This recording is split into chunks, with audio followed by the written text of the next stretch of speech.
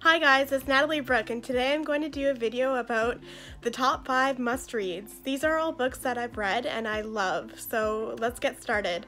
The first book is Room. This is a story about a mother and son's life together in a shed and um, it's basically about the plan that they hatch to escape. It's amazing. I love it. It's heartwarming and it's just an all-around amazing book. There's actually a movie about it, which is cool too. So that's that one. That one's by Emma Donoghue. The second book is Stardust by Neil Gaiman. This is a book about a young man and his love for a beautiful woman. He goes on a quest to retrieve a fallen star and he's supposed to come back with it for his beloved. So actually, um, it's actually pretty good. There's a lot of witches, there's like a lot of magic and bad guys and everything. It's really fun. I love it.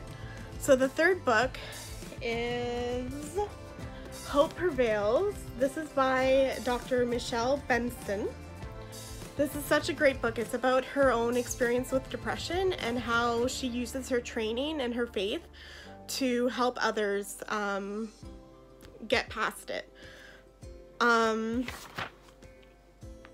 she offers the hope of release in her book and it's just such an amazing book. It's so insightful and worthy and just in my view it's amazing. I love it. So the fourth book is Beautiful Uncertainty by Mandy Hale. This is a book about the season of waiting and it's mainly for signal, signal people, single people, but it's um it's not only for single people. Like I read it when I was single and it really helped, but it's also for people that are waiting for marriage, for love, for babies, for a cure, um, for a miracle or a sign. So it can be anything, whether you're waiting for any of those things. The last book is actually Redeeming Love by Francine Rivers.